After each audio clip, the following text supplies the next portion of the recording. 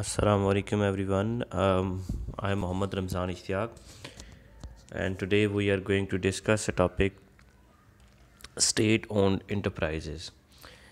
Uh, ये काफ़ी important topic है uh, क्योंकि अगर आप पाकिस्तान अफेयर और करंट अफेयर के पास uh, पेपर्स देखें अगर सी के तो इससे रिलेटेड आपको कहीं ना कोई कोई सवाल मिलता रहेगा और अक्सर ही ये डिबेट भी होती रहती है कि पाकिस्तान की जो स्टेट ओन एंटिटीज़ हैं क्या वो कंटिन्यू करनी चाहिए या उनको प्राइवेटाइज़ कर देना चाहिए? तो इस सिलसिले में ये टॉपिक है। चलिए शुरू करते हैं। सबसे पहले तो ये जानना बहुत ज़रूरी है कि स्टेट ओन इंटरप्राइजेज़ होती क्या है? State own enterprises are those companies in which government exercises control directly और इनडायरेक्टली ठीक है, और जो इनके वोटिंग राइट होते हैं, यानी कि जो डिसीज़न मेकिंग होती है, उसमें फिफ्टी परसेंट या मोर देन फिफ्टी परसेंट जो राइट होता है, वो गवर्नमेंट के पास होता है। मीनिंग देयर बाई के government is the main deciding authority for these enterprises that's why they are called state owned कि इनको स्टेट ओन कर रही है, ये स्टेट की ओनरशिप में है। अगर पाकिस्तान की हम बात करें तो पाकिस्तान में भी इस तरह की स्टेट ओन एंटिटीज़ काफ़ी ज़्यादा हैं। तो अब सवाल ये आता है कि government is not an individual या कोई फ़िज़िकल पर्सनैलिटी उसकी नहीं है, कोई फ़िज़िकल एग्जिस्टेंस उसकी नहीं है तो जो गवर्नमेंट की जो इंटरप्राइजेज या कंपनीज़ होती हैं, उनके अफेयर्स कौन चलाता है और उनको कौन मैनेज करता है? तो इसमें होता कुछ इस तरह के जो कंपनीज़ होती हैं तो कंपनीज़ के लिए government board of director appoint कर देती है कि ये हमारा बोर्ड ऑफ़ डायरेक्टर है। बोर्ड ऑफ़ डायरेक्टर जो है वो आ, वो जो कंपनी के अफेयर्स होते हैं उनको वो मैनेज करते हैं।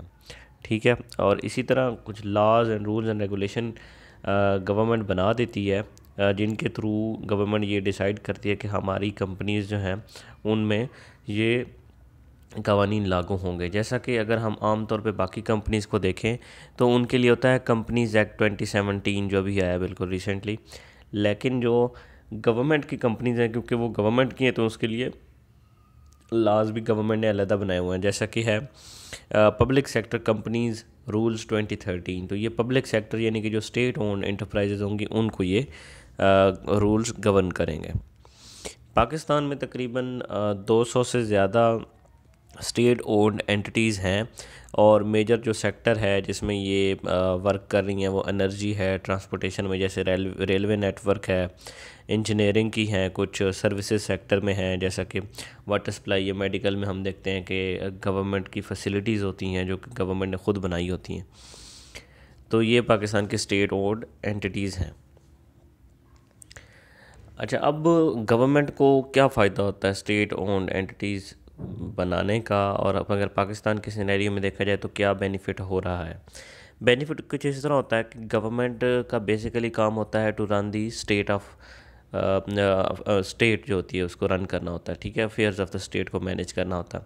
तो ये कंपनीज़ होती हैं जो कि मतलब अगर कोई ऐसा सेक्टर है लेट से कोई ऐसी कंट्री है जिसमें कोई प्राइवेट ट्रांसपोर्टेशन सिस्टम नहीं है, कोई ट्रांसपोर्ट सेक्टर में कोई भी बंदा काम नहीं कर रहा, कोई कंपनी काम नहीं कर रही तो वहाँ पे ये गवर्नमेंट की ज़िम्मेदारी है कि वो उस फैसिलिटी को क्रिएट करे और वो स्टेट ओन एंटिटीज़ के थ्रू ही इस तरह की फैसिलिटीज़ पब्लिक को प्रोवाइड करती हैं ताकि जो स्टेट के अफेयर्स हैं, जो चीज़ें हैं, वो स्मूथली चलती रहें।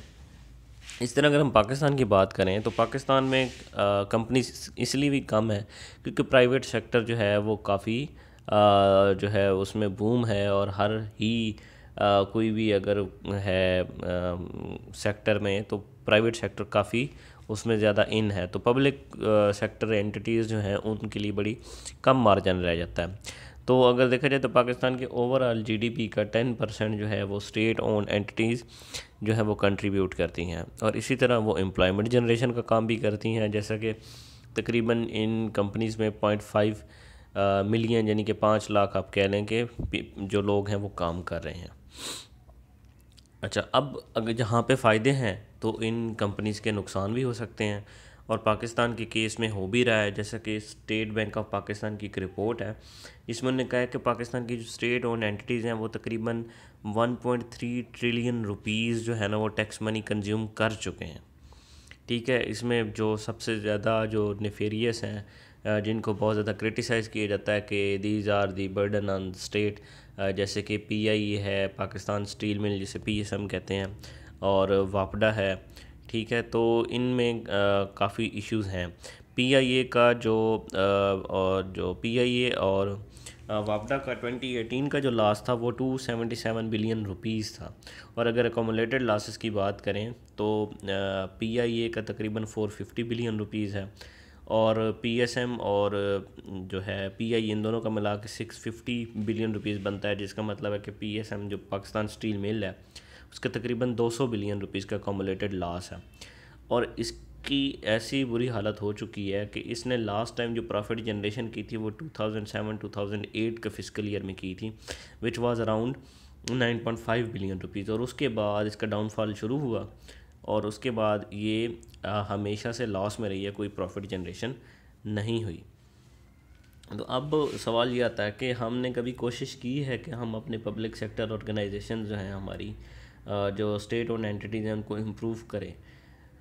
बिल्कुल ऐसी है। नाइनटीन नाइन्टीज़ में जो है, इनको प्राइवेटाइज करने की एक अटैम्प्ट की गई थी, जो कि मटीरियलाइज नहीं हो सकी थी। इसी तरह बैक इन 2015 जो है, वो भी कोशिश की गई थी, लेकिन पीएसएम के जो वर्कर्स थे, उनने स्ट्राइक शुरू कर दी थी कि हमें आप क्यों जो है वो निकाल रहे हैं इसमें से पीएसएम में से, पाकिस्तान स्टील मिल अब 2019 में जो अभी रिसेंट गवर्नमेंट है, इसने भी एक प्लान में किया हुआ है कि पाकिस्तान स्टील मिल का एक पब्लिक प्राइवेट पार्टनरशिप का एक वो प्रोजेक्ट करना चाह रहे हैं रशिया के साथ.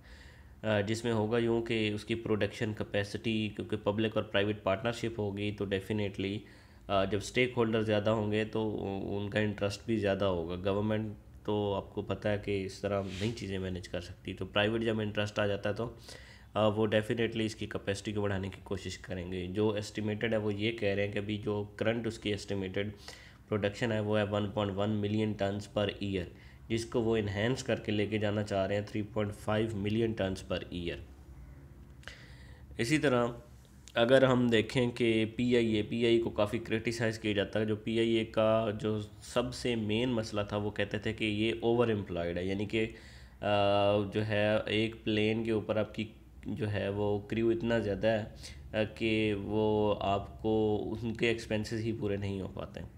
लेकिन अगर हम देखें रिसेंटली काफ़ी इसमें जो है वो रिस्ट्रक्चरिंग वगैरह की हुई है उन्होंने।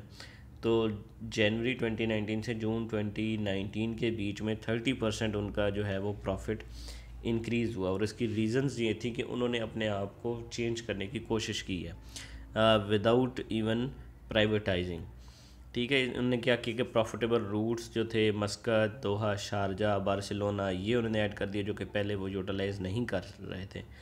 पी आई ए के प्लेन्स में काफ़ी मसला था, बहुत ज़्यादा प्लेन्स ग्राउंडेड हो रहे थे तो अब उन्होंने दो ग्राउंडेड प्लेन्स को ठीक करके वापस जो ऐड किए जिसका मतलब है कि वो तकरीबन सालाना सिक्स बिलियन रुपीज़ रेवेन्यू जो है वो कंट्रीब्यूट करेंगे टुवर्ड्स पी आई ए इस तरह रिहेबिलिटेशन का प्रोजेक्ट उन्होंने काफ़ी ज़्यादा किए हैं टैक्सी वेज़ रनवेज़ वगैरह को इम्प्रूव किया है, फैसलाबाद एयरपोर्ट को इम्प्रूव किया है रेडार सिस्टम आपको पता है कि वो, क्योंकि एविएशन के लिए बहुत इंपॉर्टेंट होते हैं तो इनने रेडार सिस्टम जो है वो कराची लखपा स्टेशन पे लगवाए हैं। वेदर स्टेशन थर्टी फोर जो है वो मटीरियलाजिकल डिपार्टमेंट के साथ मिल के इन्होंने लगवाए हैं। जिससे होगा ये कि जब उनके पास वेदर फॉरकास्ट एक्यूरेट होगी तो वो उस तरह अपने फ़्लाइट ऑपरेशंस को स्मूथली मैनेज करेंगे।